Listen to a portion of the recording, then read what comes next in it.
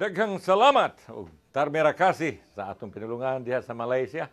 O ganiyan na sab kita sa atong kinahang mga health guide. Kumusta ang, ang mga bisdak ug maing adlaw Pinoy?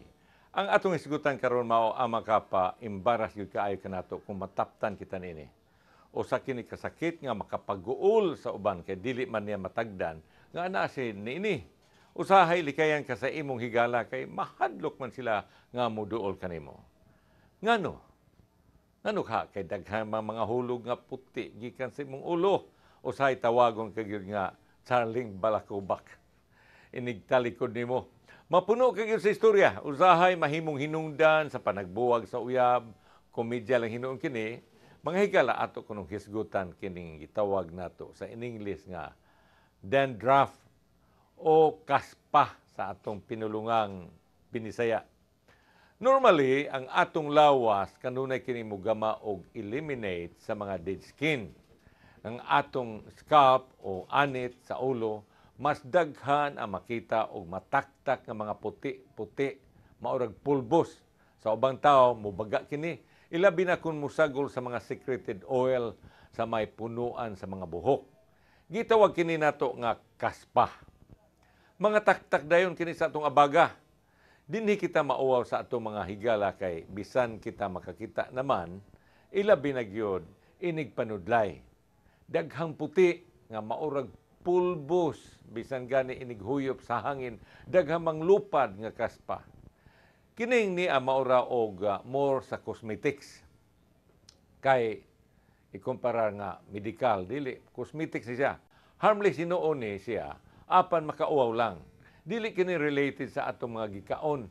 Tingali stress related. Busa ang akong tambag likay gyud sa mga stresses o makapaguol nga masagol sa atong kinabuhi. Kining stress kanunay ra bagyod nga moabot ka nato bisan wala tuyo ah makapanipis pud sa buhok. So unsa may hinungdan ining kaspa? Una gyud ini do na tay gitawag nga seborrheic dermatitis.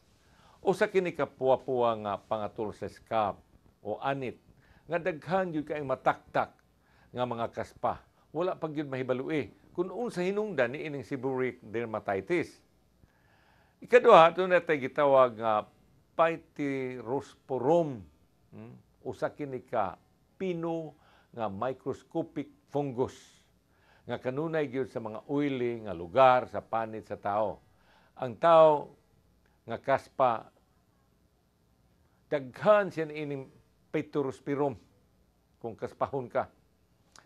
O katulo daghan lagi kaayo mga dead skin nga gikan sa anit sa ulo. So unsa may mga timailhan ini? Dili lisod ang pagilan ini Kay bisan ang atong mga higala, makamatikudayon. Sultian kapag yun. Kumidyahan kapag ingnonoy, Charlie Balakubak. Makitaan mag yun sa gusto natong sa dili. Kanang mga pinong puti-puti nga maurag pulbos ug maurag himbis-himbis nga mataktak sa atong ulo, mutungtong ug mutapot sa atong abaga. Dili gyud ikatago ug ikalalis. So unsa may imong buhaton? Una, gamit sa anti-dandruff shampoo with fungicides. Regularly gyud, ha? Kanunay gyud na siya. Then ayaw kauta ang imong ulo aron malikayan ang infeksyon. Of course, konsultaha dayon ang imong doktor sa way dugay-dugay. Kay ang imong doktor maoy mo rule out kung eczema ba, psoriasis ba, o ringworm ba, hinuon kini, ang imong doktor maogi mo prescribe sa mga tambal sa mapananglitan sa mga scalp lotions o mga topical steroids. So unsao man nato paglikayin ining kaspa? Una, limpyuhi. Limpyuhi gyud kanunay ang imong buhok pinaagi sa paggamit og shampoo. Kada adlaw o at least kaduha sa usa ka semana. Then ikaduha, gamit sa anti-dandruff shampoo mga 5 to 10 minutes for at least twice a week o kaduha sa usa ka semana. Katulo, kadto mga uga ang mga mga mga buhok no, or dry hair, bubuhi ang imong buhok sa olive oil ug imasahe sa imong anit mga 30 minutes aya pa ang shampoo. Kung oily ang imong buhok, gamit sa mild frequent shampoo. Anay daghang shampoo sa inyong suking tindahan. Basahag maayo ang mga instruksyon ug unsaon nimo paggamit Muna manghigala atong health guide. Up, karon ato sa atong balaanon nga kasulatan. Magagikan sa Roma chapter 12 verse 1 na nag-ingon nga busa mga igsuon tungod sa dakong kaluoy nga kipakita sa Dios kanato hangyoon ko kamo sa pagtugyan sa inyong kaugalingon ngadto sa Dios. Ingon nga buhing halad balaan o makapahimuot hinot kaniya paganindot sa atong balaanong kasulatan.